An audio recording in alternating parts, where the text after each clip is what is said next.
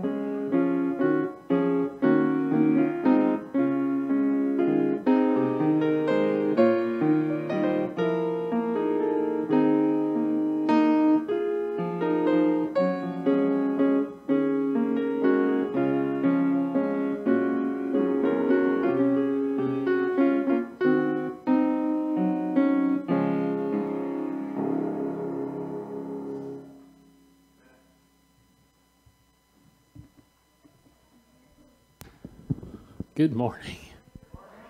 It's good to see all of you this morning. Would you stand and join with us in singing praise to our God?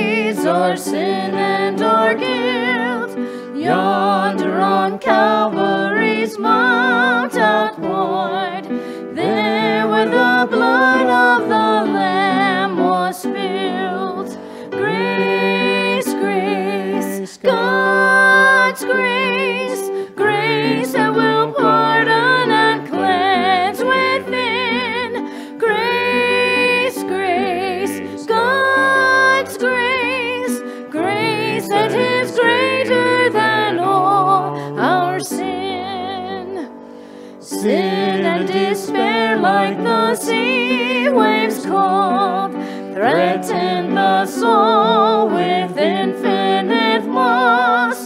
Grace that is greater, yes, grace untold, points to the refuge, the mighty cross. Grace, grace, God's grace,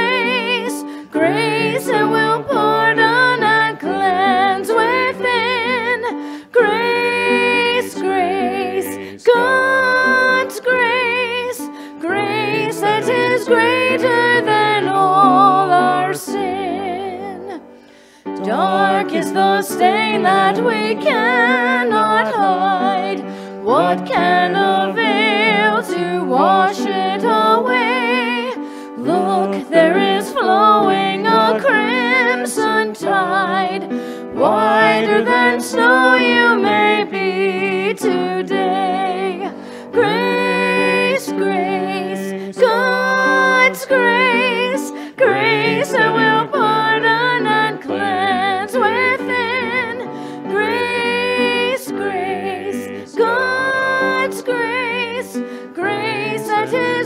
greater than all our sin.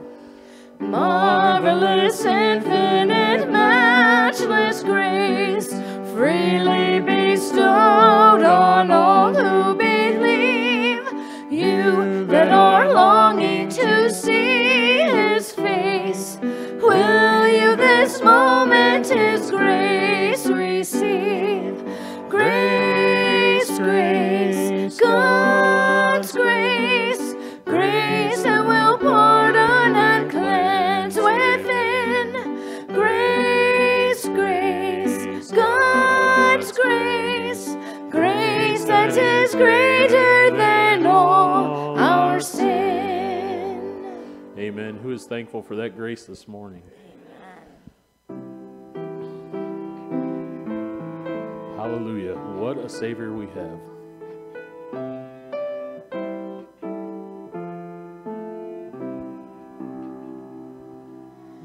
Man of sorrows, what a name for the Son of God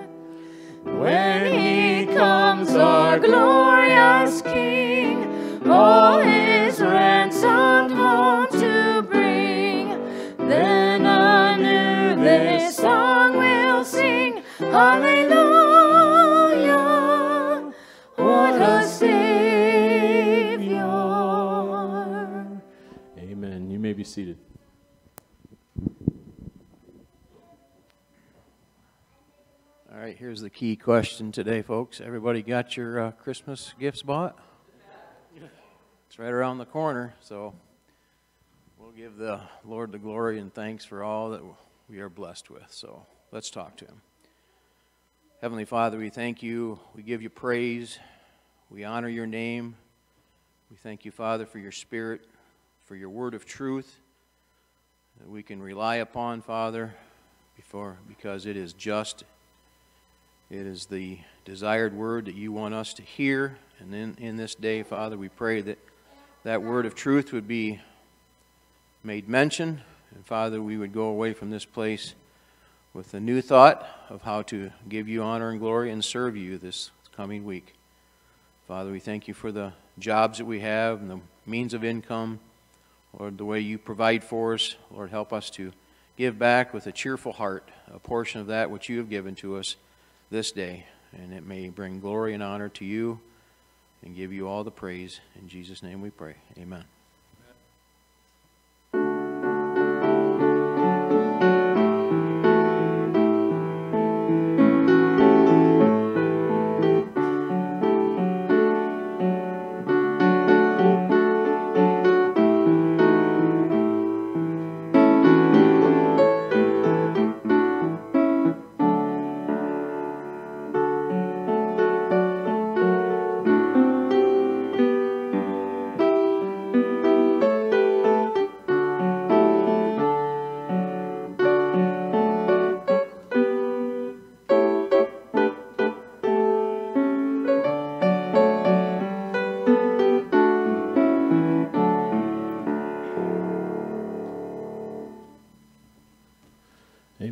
Should have sang that a little bit louder. I could hear some of you. Let's uh, stand and sing again, please.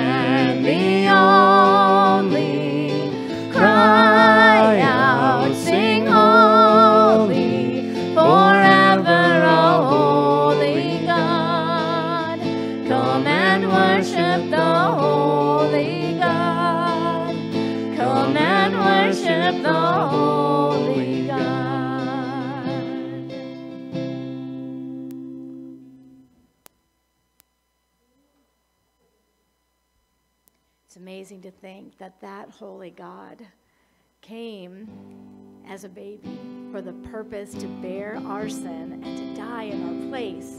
Can we really grasp that? I, I don't know that we really can. That he who knew no sin became sin for us.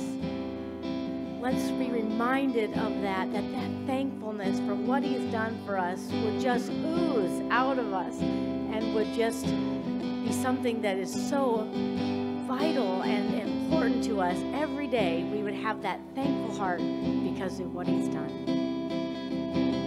He became sin. who knew no sin, that we might become his righteousness. He humbled himself and carried the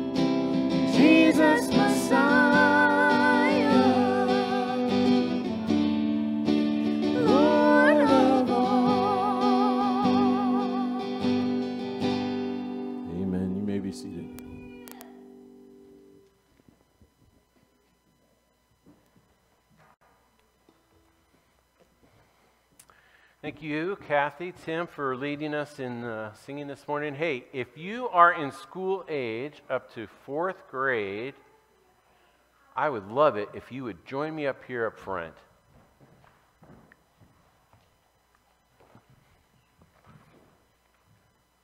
Come on up. Uh, well, not often. How we doing? He's not in school. That's okay. We'll let him sit up here. We'll let him sit up here. How are you guys doing today? Good. Fantastic. Do you like school? Yeah. Good, because I have a test for you today. No, it's not really a test, but I'm going to teach you a new vocabulary word. Are you ready? The word is affliction. There's a lot of letters in that word, huh? Yeah. Do you have you ever heard that word before? Affliction? Yeah. No, it's a new one. You heard who heard it? You did what's affliction mean? You don't know.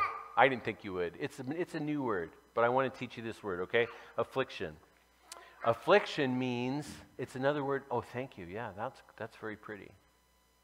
Affliction means suffering. That's all, that's what that's all. It's just another word for suffering.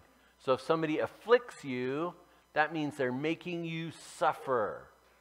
Right? Do you guys ever suffer? Never? You never suffer ever? I think, don't think that's right. Have you ever been sick? Yeah. Okay. Do you like to be sick?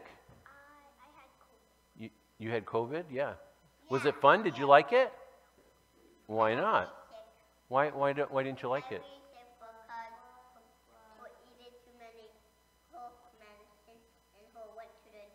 Oh, yeah, that's right. Yeah, be, being sick is no fun, is it? No, because you're suffering, right? You're in pain. You don't feel good.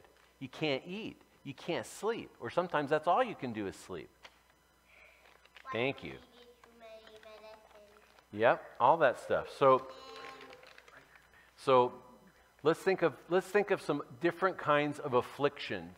Okay, some different kinds of suffering. How about failing a test? Would that be suffering? How about getting in a fight with your friend? What about being picked on or bullied or being made fun of at school? None of those things would be fun, would they? No, those are all very unpleasant things. We, that, all of those would qualify as afflictions. Can you think of any others? What are some other things that would be an affliction? Okay, yeah. Some one of your brothers or sisters being mean to you? Absolutely. Yeah, hap- I know it happens, but you don't have to rat them out right now. what else? What else? That's okay. All right, you think about it. But but you those kinds of things are all afflictions, okay? Now, here's my question. Why does God let us suffer? Why does God let us be afflicted? Why doesn't he whenever when if something like that happens, why doesn't he just fix the problem and make it go away?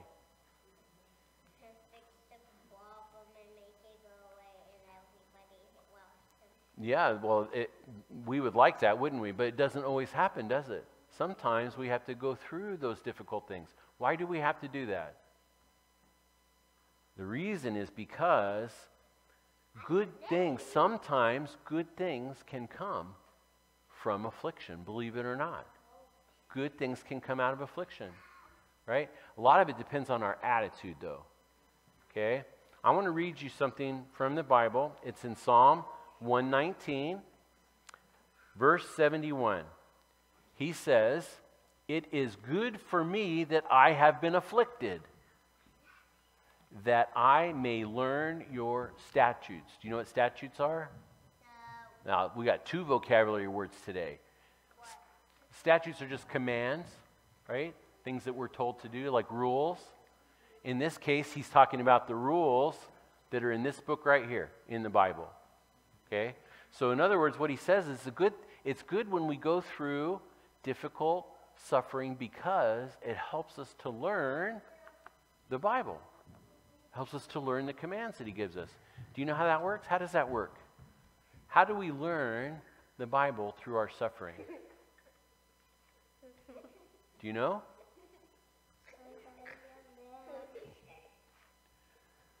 I feel like I'm being afflicted right now. what am I learning? Hmm. See, here's what happens. Some of the stuff that we learn in the Bible, it's easy to believe when things are great, right? It's easy to believe when we're, when we're doing fine. It's when things are not so fine that we really have to trust in God's Word and lean on it to help us get through those hard times, right? That's when, it, that's when we really learn. And that's what he's talking about here. Okay? That's why he says it's good to be afflicted because something good comes out of it. We learn from it. We especially learn about God from it. Okay? So here's my advice to you.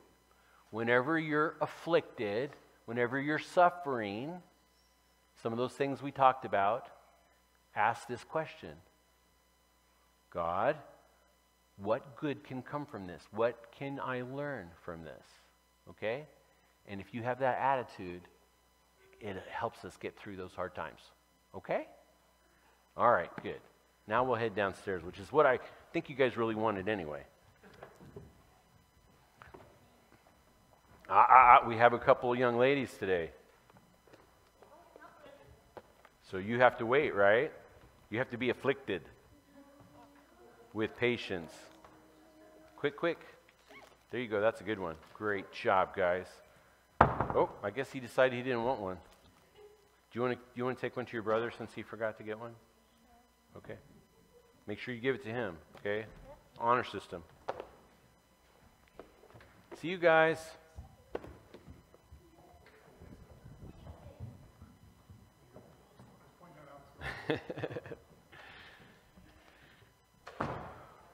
okay. I don't know. That's, I, I don't think it would be fair to call that affliction. Because I love those kids. I love it when they're here. Okay, let's pray and see what God has for us in His Word today. Our Heavenly Father, thankful for these children. We're thankful that they're here to, uh, to learn your Word. And we pray that they will learn it and that it will take root in their hearts. And I pray that for us as well. Uh, even though many of us are much older, uh, we still have a lot that we can learn. And I pray that today's sermon will be helpful in our walk with you, our daily walk with you.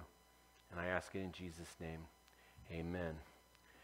Well, I'm assuming that most of us in here today, and probably it would be fair to say all of us, have experienced some affliction in our lives.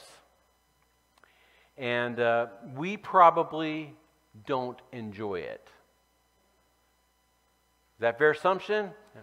Everybody tracking with me so far? Um, and of course, I realize there's different levels of affliction, right? There's a big difference between your car breaking down, that can be inconvenient, and filing for bankruptcy.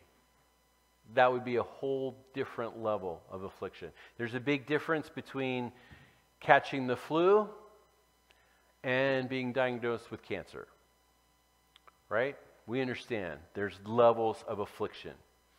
And I think, in particular, sickness, Ill, illness, physical um, health issues in particular are difficult because there's usually nothing that we did or can do about them, right? People get sick because we live in a fallen world and sickness happens. It's not always because I did something. And, and, and in particular, like when children you know, seemingly get sick without rhyme or reason. Why, does, why, do, why do three year olds get cancer? Or why do they get these terrible conditions that, that puts them in the hospital? Things like that. Why does that happen? It's difficult for us to deal with because it seems unfair. It seems not right. And it isn't. It's a symptom of a broken world that we live in. But when we're in those situations, children, but even ourselves, and, and, we're dealing with some really difficult affliction, sometimes it is very, very hard to find the silver lining, to try to find some good in that situation.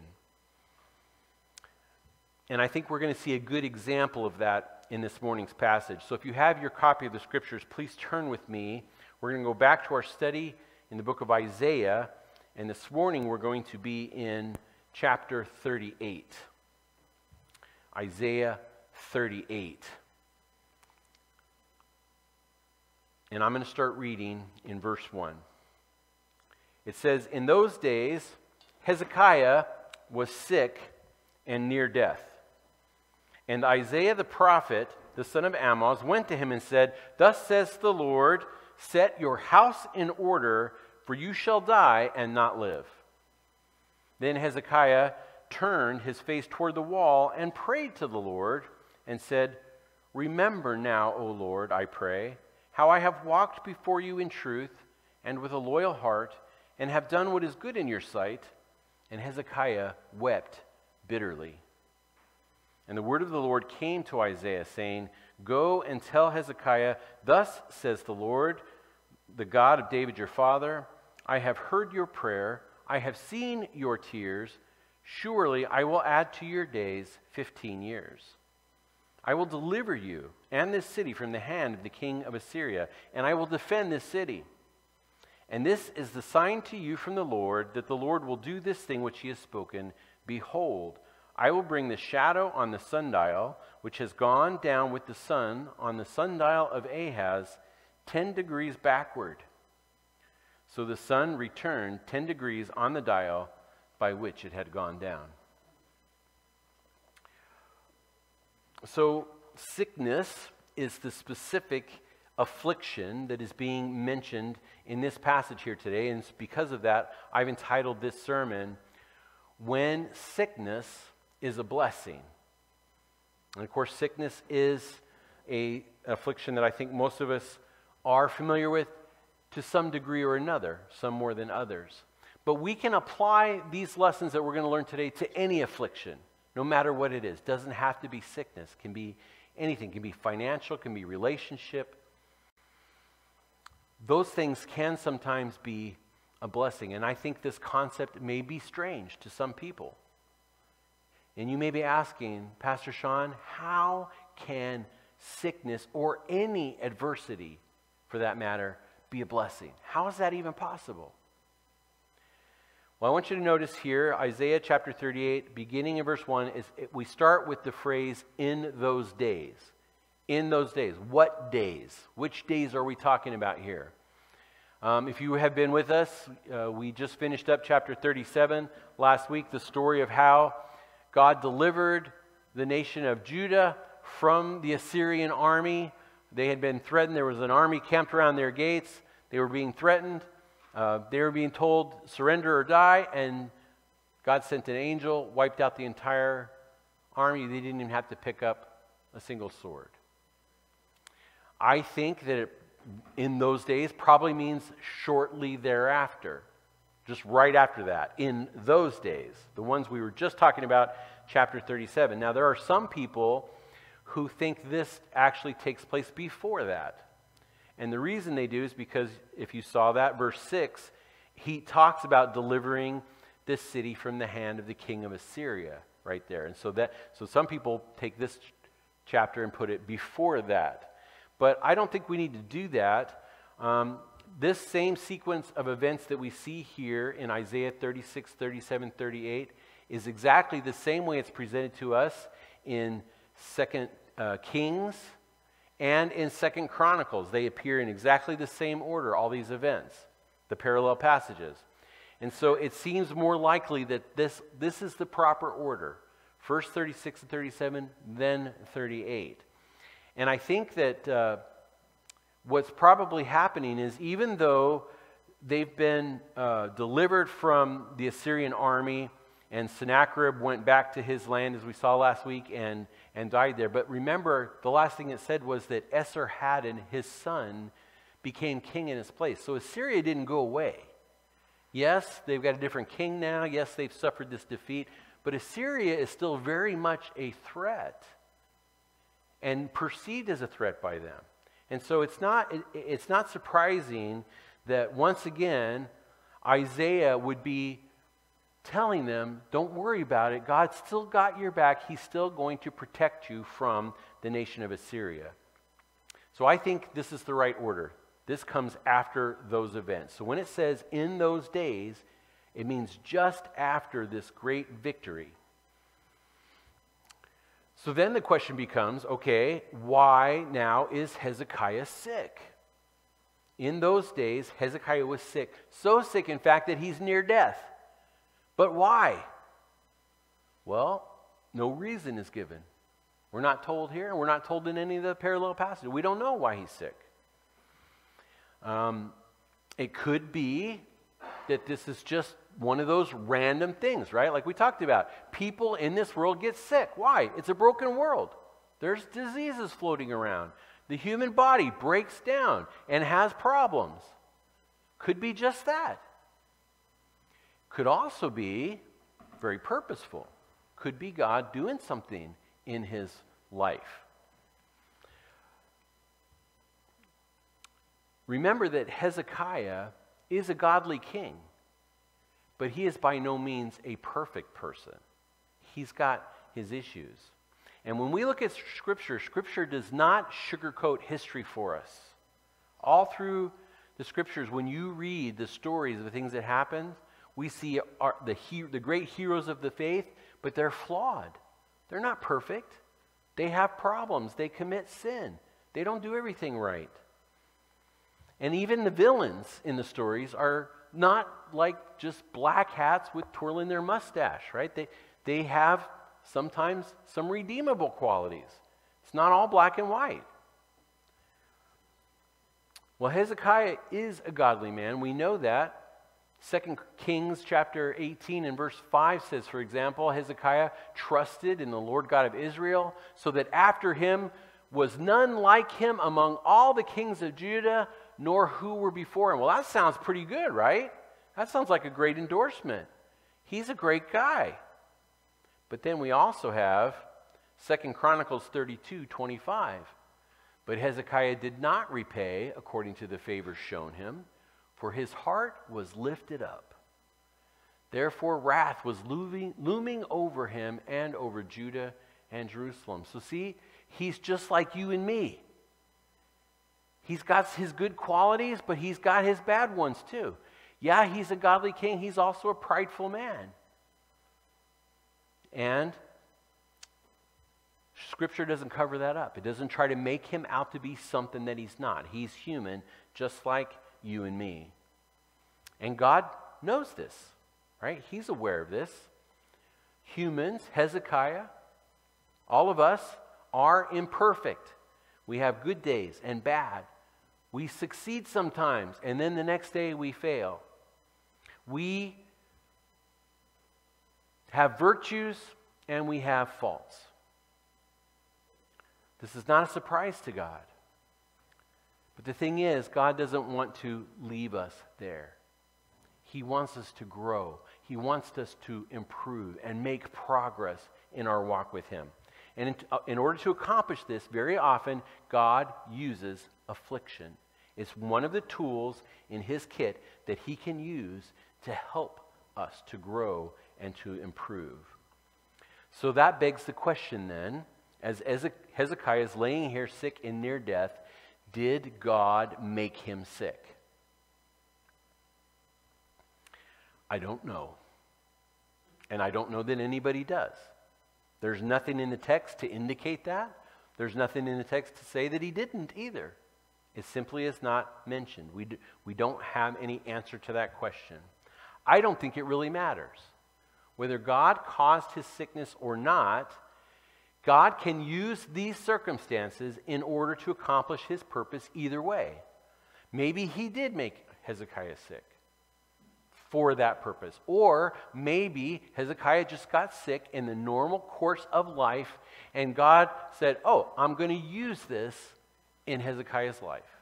Either way, it amounts to the same thing. So I don't think, I don't think we necessarily need an answer to that question. But this is one thing that is absolutely purposeful that we know God sends Isaiah to deliver a message. Right? Hezekiah is lying there sick in his bed, and Isaiah comes with a message. He tells the king, um, Get your affairs in order because you're not going to recover from this. Okay? So you're done. Start putting your house in order. Why did he do that? He didn't have to do that, right? He could have just let this sickness run its course. And Hezekiah, just like everybody else, would have succumbed. You, you know, we're, we're all going to get, we're all going to come to the end some way, right? Some of us will live long lives and, and go peacefully in our sleep. Other people, we might get sick. Somebody might get run over by a car. We just don't know, right? But it's all, we're all going to get there someday. He could have just let, let the events run their course. He doesn't do that. He sends Isaiah with this message. And I think that the message is a warning. And the warning was designed to elicit a response in Hezekiah. And that response is my first point. See, I think sickness can be a blessing when it prompts us to pray. Oh, I'm sorry. Forgot that one. Sickness is a blessing when it prompts us to pray. See, the implication in this story is that Hezekiah was not praying about his situation. Right? Like he's sick. He's really sick, but he's not talking to God about it. And, and I'll, I think I'll make this even more clear as we go a little bit later on. And so God sends Isaiah with this message in order to trigger that prayer in Hezekiah.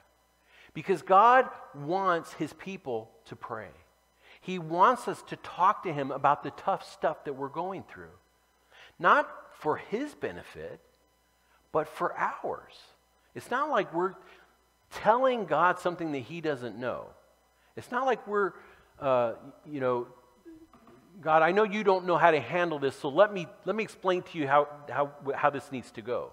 You know, we don't need to do that. But God wants us to talk to Him for our benefit. You guys know this, Philippians chapter 4, 6 and 7. This is a great great one for refrigerator magnets and bumper stickers, right?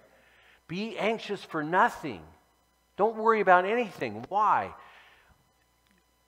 But in everything by prayer and supplication with thanksgiving, let your requests be made known to God.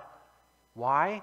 And the peace of God, which surpasses all understanding, will guard your hearts and minds through Christ Jesus. I want you to notice, so he doesn't want us to worry when we're going through affliction. He wants us to pray about it and say, he wants us to talk to him. But for what purpose? Not for provision, but for peace. Right? He's, he's not saying, I want you to, to, to come to me to fix your every problem. That does happen sometimes. But that's not the primary purpose. The primary purpose is for peace. See, when something's bothering you and you go to the Lord in prayer and talk to Him about it, He gives you peace. And not just any peace, the peace that surpasses all understanding, a supernatural peace, a peace that does not make any sense from a human perspective. Why does that work? Because we've released it, we put it in His hands. We said, you know what? I can't do anything about this, God. There's absolutely nothing that I can do about this, but I know that you can, and so I am leaving it with you. And I'm trusting that whatever happens, it's because you're in control. And you got this.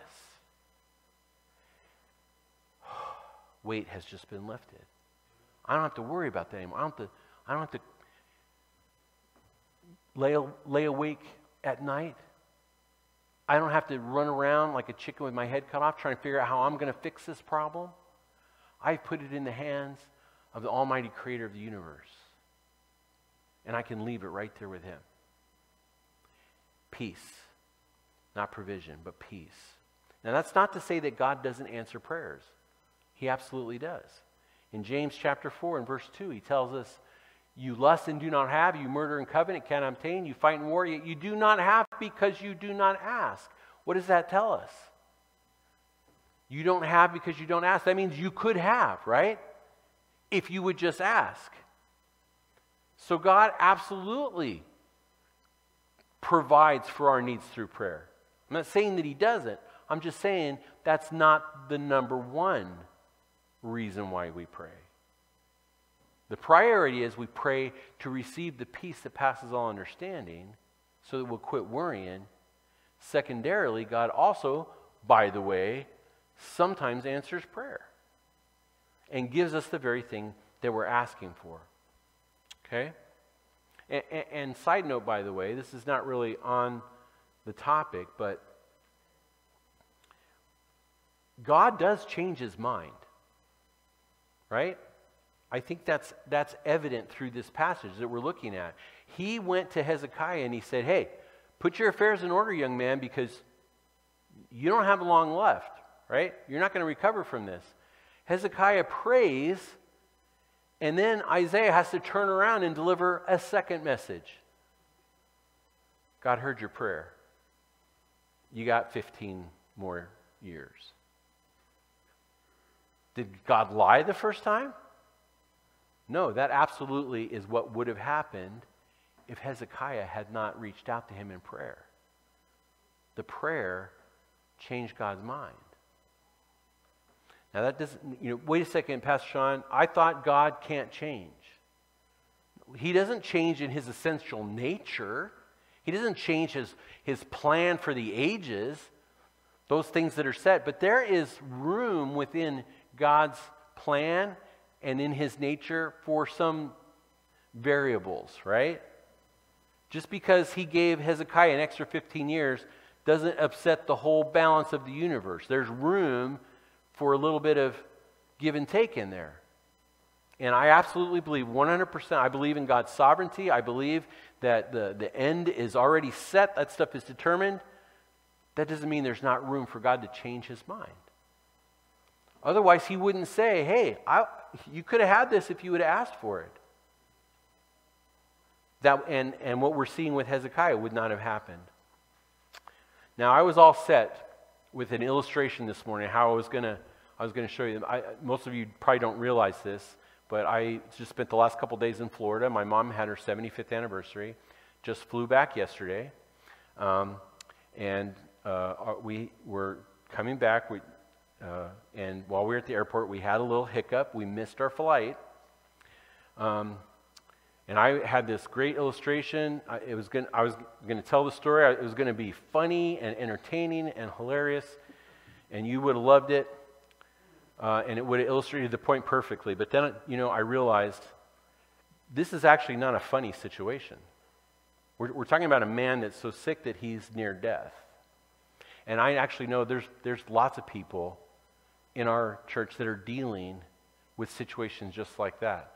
In fact, one in particular, I, I know not everybody's on our text list. And so you may not have gotten the news this morning. But if you did, then you know that even, as we speak right now, Kylie Crocker is probably being life flighted. Uh, I don't know where she's going. Do you, Travis, do you know where she's going?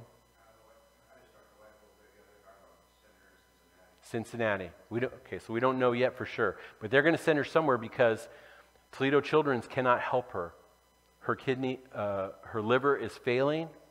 It, her numbers are off the chart. They got to send her somewhere they can help her.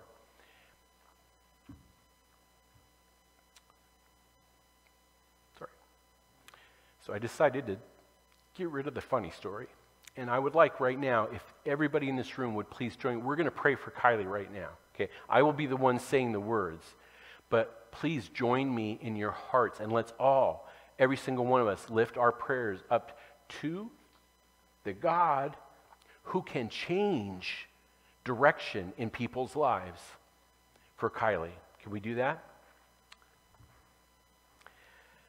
Our Heavenly Father, we have absolutely no idea why you have allowed this affliction in the life of Kylie and her family right now, but we know it is difficult, it's tough. And right now, Kylie needs you more than she has ever needed you in her entire life. Lord, we know that you have the power to fix this situation. That you, if it was your will, you could heal her in an instant. And Lord, we would love it if that would happen. We also know, Lord, that you also use these things in people's lives. And so we are giving this to you right now. We're, we're putting this burden at your feet. And we're asking you, Lord, to help us to trust you with the outcome. And we pray for Kylie, we pray for her mom, for her brothers and sisters, for her entire family, for Travis, who's here with us right now, for her dad, Brian. Lord, be with every single one of them. Surround them with your comfort and with your love. Help them to feel your presence in a mighty way, to know that you are not absent from this, but you are walking through this with them, and that you are absolutely 100% in control. And Lord, I, I look forward to how you are going to work through this in such a way that we will see your hand at work. And we ask it all in Jesus' name. Amen. I didn't get it in the prayer bulletin this week, so please, when you get a chance, write that in and keep Kylie in your prayers this week. I know her family would appreciate that. Well, in this particular case, Hezekiah does what we just did. He gets the message that he's not going to make it, and he it says he turns towards the wall. And I don't know what that means, by the way, but he turns his face towards the wall and he prays. And he asks God to intervene in his situation. And he receives it, which leads to my second point. Sickness can be a blessing when it gives God the chance to reveal his glory. Extending a person's life by 15 years, that's pretty special. Right? I I mean, who can do that? Only God can do that.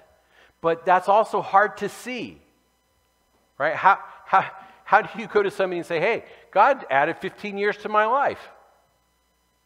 How do you know that?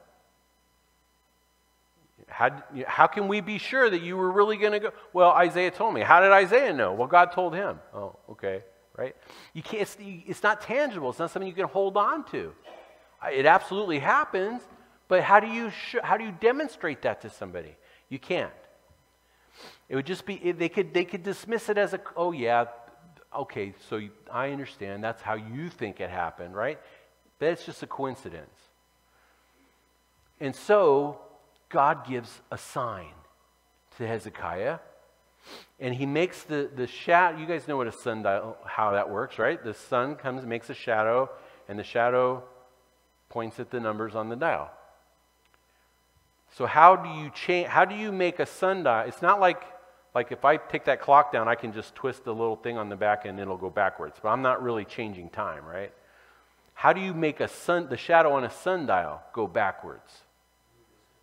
I think there's only two, there's only two ways I can think of. Either he stopped the earth and started turning it the other direction. That would be a pretty big deal. Or somehow he bent the light in such a way that only just on that one sundial on all the planet, every, every other sundial kept going just like it was, but that one sundial suddenly went backwards. Which, which of those two, or maybe you can think of a third one. Those only two I can come up with.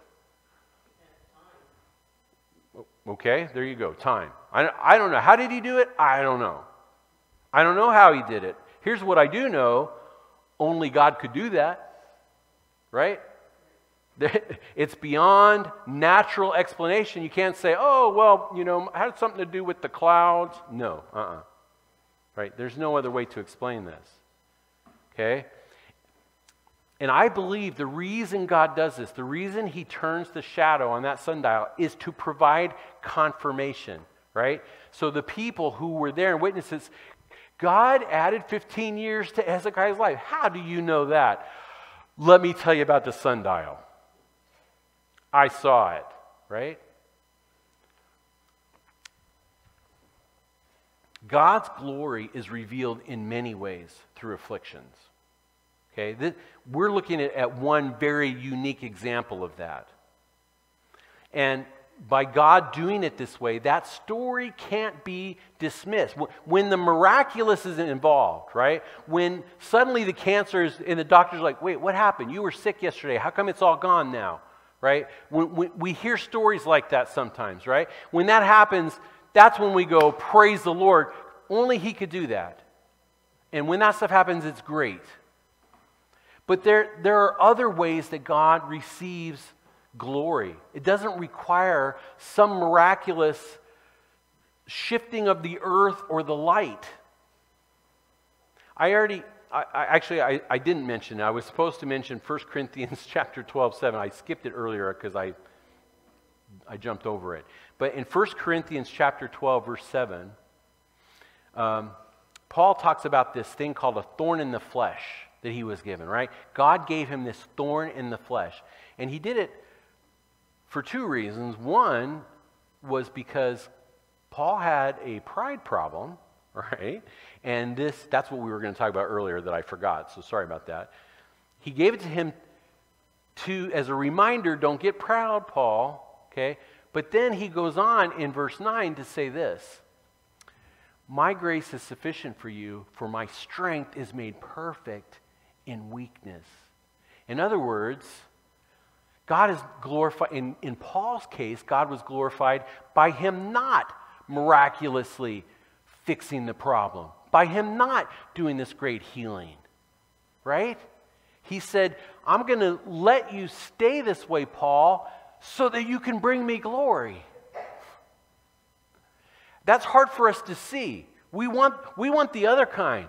We want God to do the miracle. We want Him to take, you know, so that we can run around and say, hey, let me tell you what God did, this crazy thing. You won't believe it. It was amazing.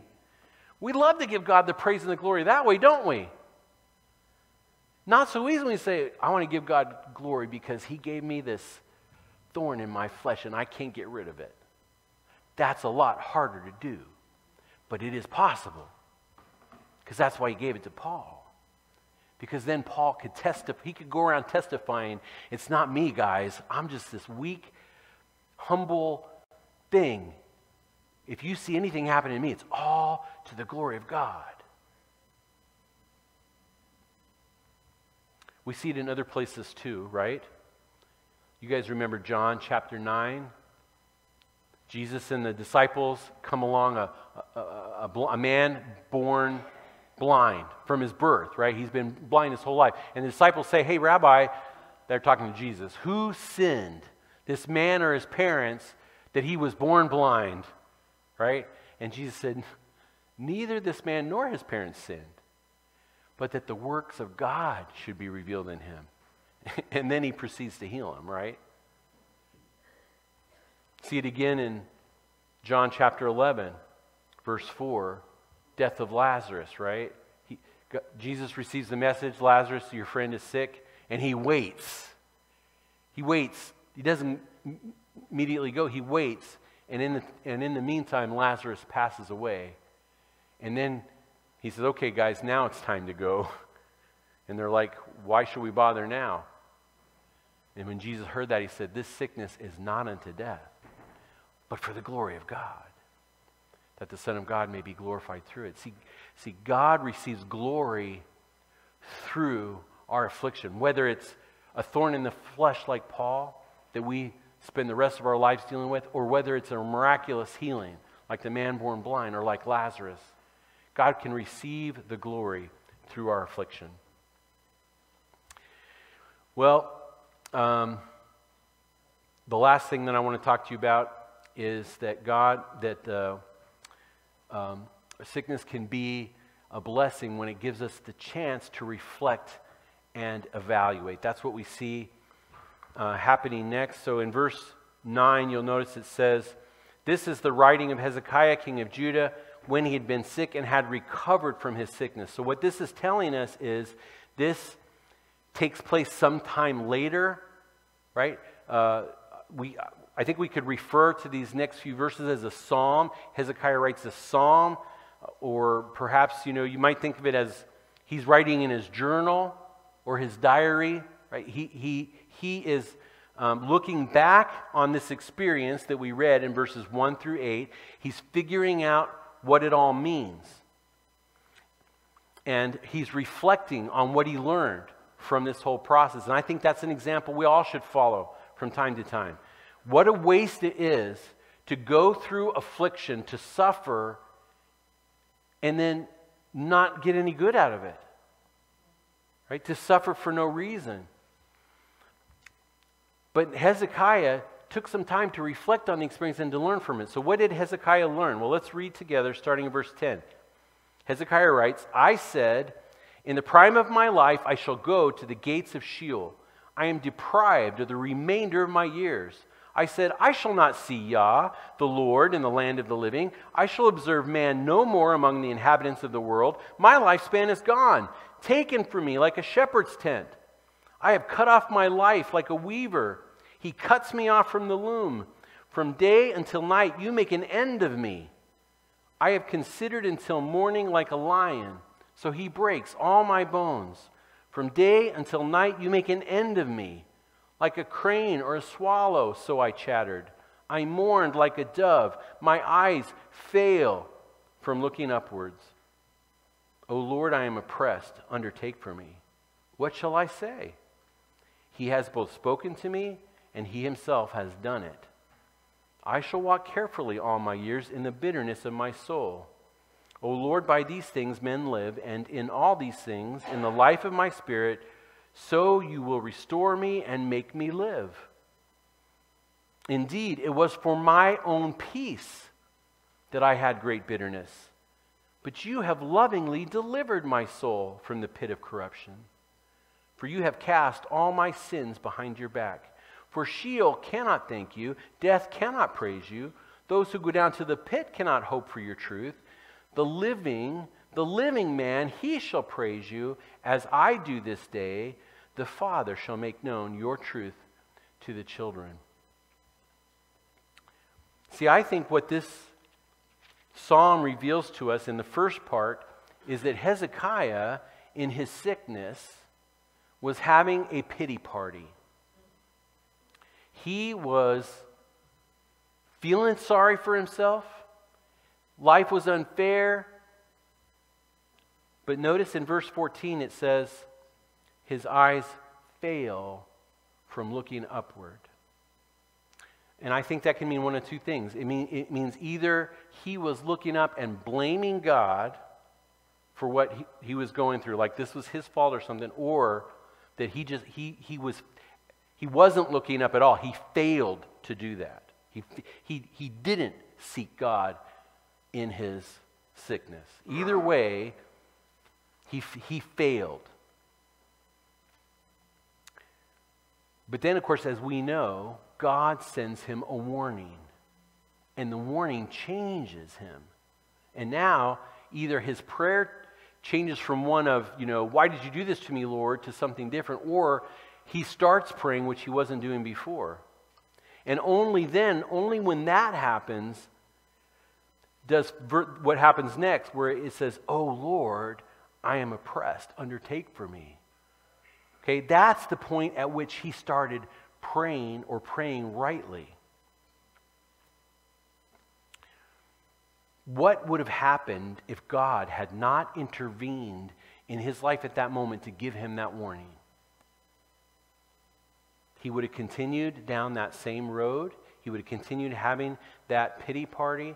And as he mentions in verse 15 and again in verse 17, that would have led to bitterness.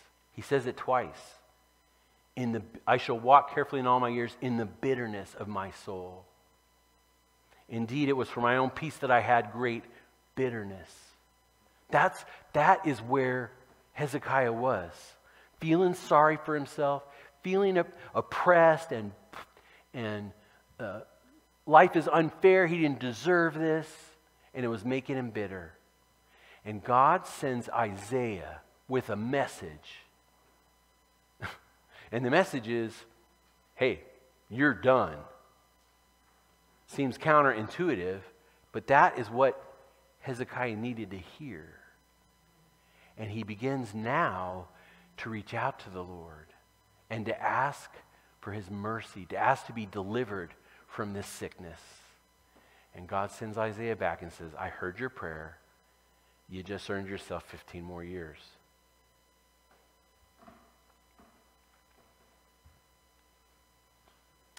And he praises God in second half of 17 for delivering his soul from the pit of corruption. Not because he healed his body,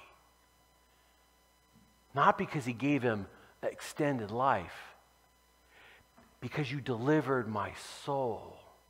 I was headed down the path of bitterness. You saved me from that. Of course, we know that that is the most important thing, isn't it? I mean, it's great when God does something truly miraculous and wonderful and providential in our life, and we, we thank Him for those things. But nothing compares to what He has done for our soul by sending His Son, Jesus Christ, to die on a cross, to take our place. And no, He didn't make my life perfect by doing that, but He has made my eternity perfect by doing that. And because of that, I can endure whatever affliction I have to go through on this planet, knowing what I have to look forward at the end of it. Well, finally, he concludes in verse 20. He says, The Lord was ready to save me. Therefore, we will sing my songs with stringed instruments all the days of our life in the house of the Lord. He gives praise to God for what he has done in his life. And Hezekiah's faith and his spiritual walk was made stronger because of this affliction that he went through. Not just the experience itself, that was part of it, but also because he evaluated and he learned from it. The Bible refers to this process as refining. And that's actually a metaphor, right? Refining, we know, is when you take rock out of the ground And you melt it so hot, you, make it so hot that it melts so that you can skim off the junk and only leave the valuable ore behind. That's the refining process. The Bible uses that as a metaphor for our spiritual walk. Just as miners remove the impurities to make the ore, the precious ore, more valuable, God does the same thing in our life. We don't have to look very far. You can turn right to Isaiah 48, verse 10, where it says, Behold, I have refined you, not as silver. I have tested you in the furnace of affliction. That the, the heat of affliction is how we are refined as people. Malachi chapter 3, we see it again. But who can endure the day of his coming, and who can stand when he appears? For he is like a refiner's fire. He will sit as a refiner and a purifier of silver. He will purify the sons of Levi and purge them as gold and silver.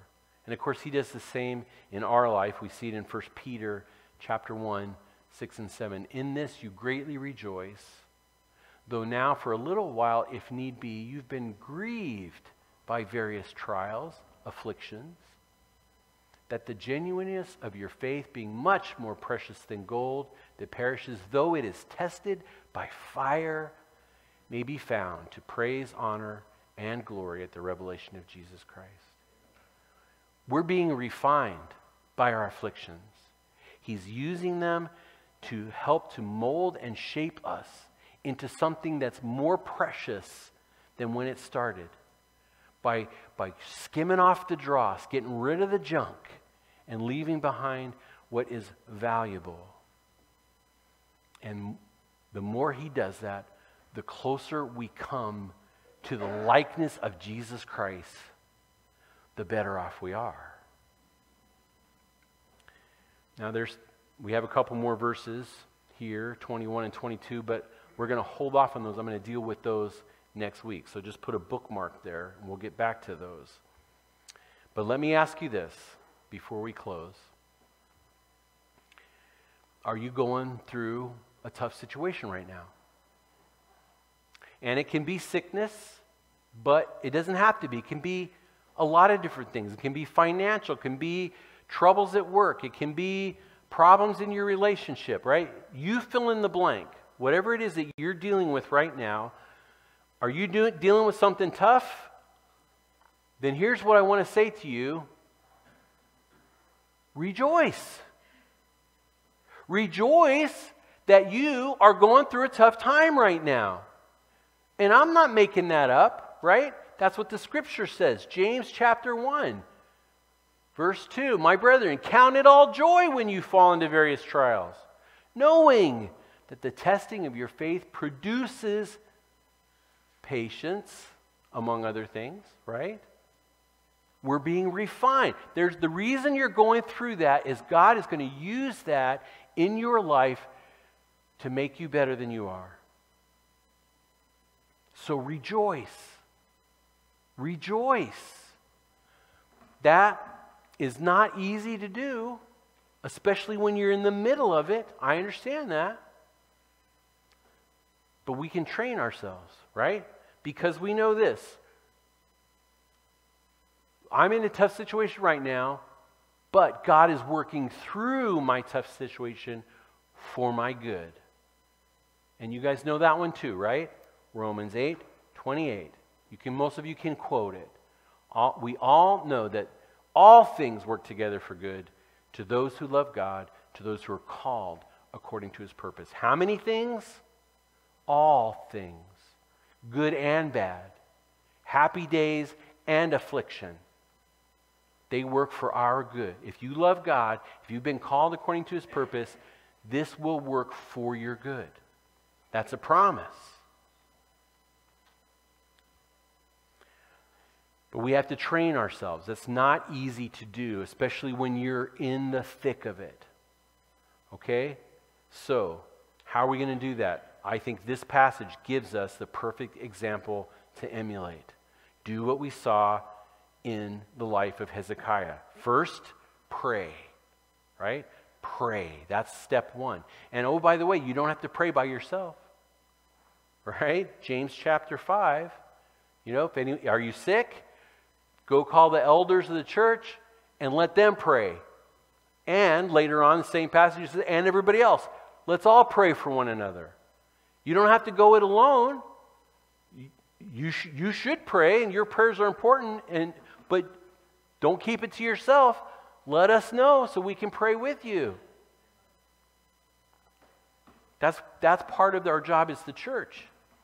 So, step one, pray. Step two, ask, start asking some questions. Lord, what are you trying to teach me through this? Why have you allowed this into my life? And importantly, how can I use this for your glory? Right? Start asking those questions. And then, three, take time, whatever the outcome, to reflect, to evaluate, and to learn. If we do that, we will start seeing God at work through our afflictions, and we will be able to give Him all the praise and glory for what He's doing in our lives. Now, as you can see before you, we have a perfect opportunity today to reflect and to evaluate. And I'm going to ask Pastor Tim to come and lead us through that.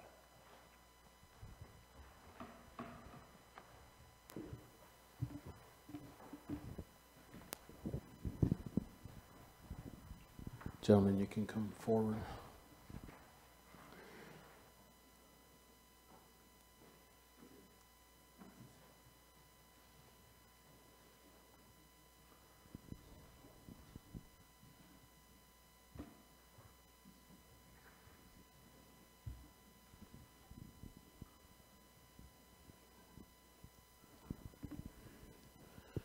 Greatest story of affliction Isaiah 53. He was despised and rejected by men, a man of suffering who knew what sickness was. He was like someone people turned away from. He was despised and we didn't value him. Yet he himself bore our sickness and carried our pains, but we in turn regarded him stricken, struck down by God, and afflicted. But he was pierced for our rebellion, crushed because of our iniquities, and the punishment for our peace was on him, and we are healed by his wounds. The greatest story ever told. Jesus Christ afflicted, punished for my sin, for your sin. And we come now remembering that sacrifice that he made so that we may have peace with him. He did all this, it says, because our peace was on him. And we are healed by his wounds. We are made whole by his sacrifice on the cross, his death, burial, and resurrection. We should therefore remember that, and in so doing, proclaim his death until he comes again. Lowell, would you pray for the bread?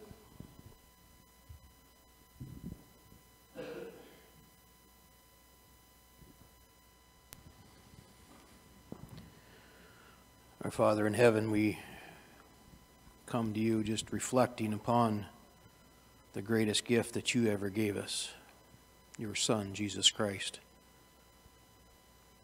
for allowing him to go through the affliction, the pain, the suffering, and most of all, the death. For his body was broken, and it became sin to him as we look in life and see our bodies broken, Father, help us to know what cost it was that Jesus was willing to be obedient to you, dear Lord, our God, and went to that cross, laying his precious life down. as we reflect as, at this time, we take the bread, it represents his body that was broken. Help us to be mindful of that. And Lord, that we would just uh, give testimony of your greatness through our reflection as days come and go. We just give you the glory. In Jesus' name, amen.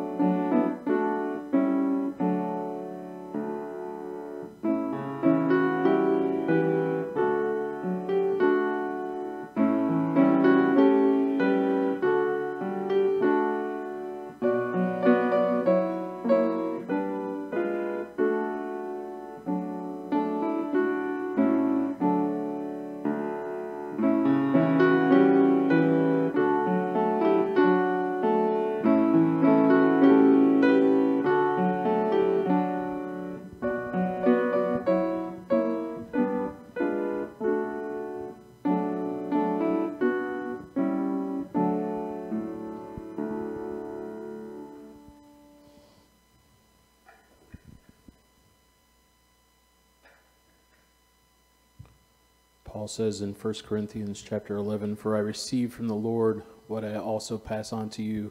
On the night in which he was betrayed, the Lord Jesus took bread, and when he had given thanks, he broke it and said, This is the body, this is my body, which is broken for you. Do this in remembrance of me.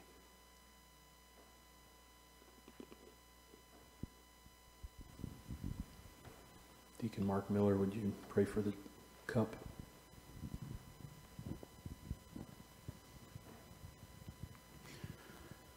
Father in heaven, we thank you so much for Jesus who came to this earth and shed his blood so that we might be forgiven, so that we might come back to you, Lord. And, and Lord, we just, as we partake of this cup, we remember the blood that Jesus willingly gave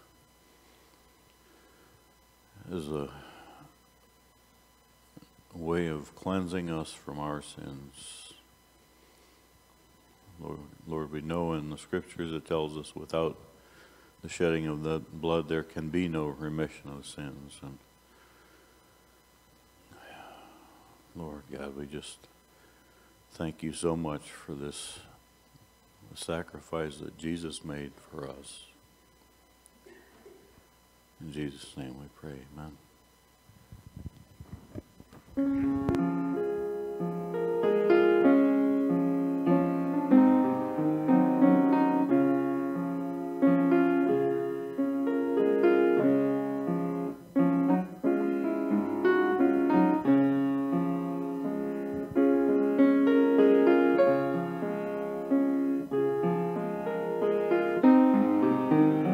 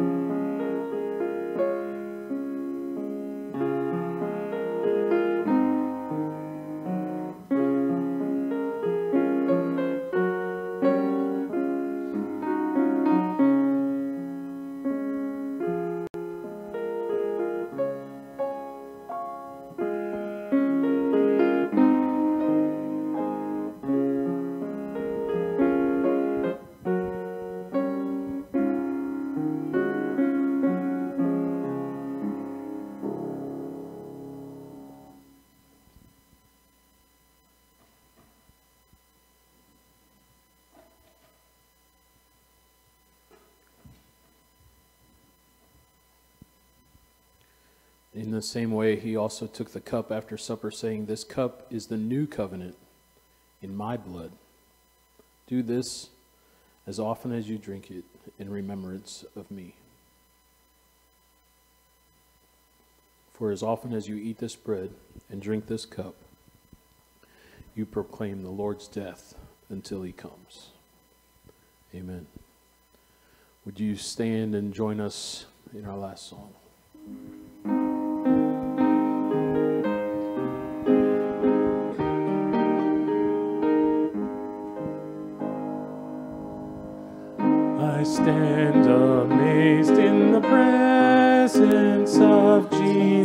Jesus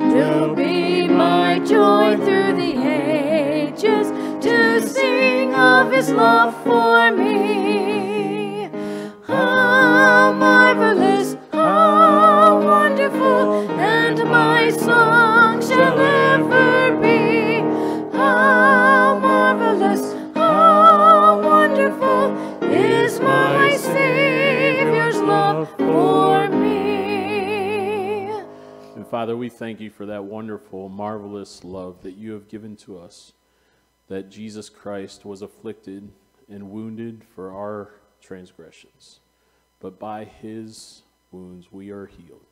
We thank you for that today. In your name we pray. Amen. We will be beginning our meal shortly, so even if you haven't brought anything, please join us downstairs for our harvest dinner. Thank you.